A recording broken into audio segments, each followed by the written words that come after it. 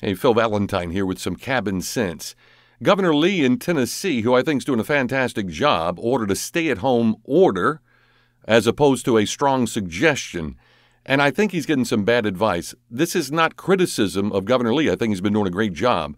But at the same time, he's listening to folks who are telling him that there's an uptick in people traveling on the roads, according to the Department of Transportation.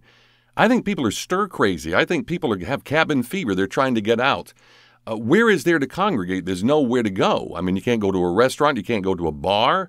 A lot of the parks, you can go to the parks, but you can't play basketball, you can't play soccer, and things like this. I think you should be concentrating on where people are congregating. So, where are people congregating? At the grocery store. And so we've got people that are bringing their entire families to the grocery store. Stop doing that. Susan and I, we take turns going to the grocery store. She goes most of the time. Sometimes she sends me, but we go alone. We go to the grocery store, we get what we need. We don't hoard. We don't, well, we can't find paper towels, so we don't get any paper towels, but we don't clear out the meat aisle either. So if you're going to go to the grocery store, send one person from the family to go to the grocery store and do it once a week like you normally would. There's another thing with the grocery stores, too. In San Francisco, they're now banning these reusable grocery bags that people are so big on to save the planet.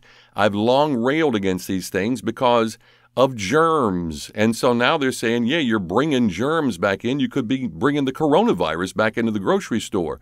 But I got an email from one of our listeners who says that a local grocery store here is telling them they're going to do away with plastic bags. He said, You going to paper? They said, No, you're going to have to bring your own bag. Why are we doing this? We got to use common sense through all of this, folks. So here's the common sense. You can go outside, even according to the new order from Governor Lee. You can go out, you can kayak, you can canoe, you can do all sorts of stuff outside, but just don't congregate. You know, they've got that slogan they've got do your part, stay apart. Come on, folks. This is Music City, USA. We got some of the top tunesmiths in the entire world. We can't come up with a better slogan than that. So, as a matter of fact, if you'll leave your suggestions here on the comments page, uh, we'll see if we can get some of those to the uh, governor's office and come up with a better slogan. In the meantime, uh, just don't congregate.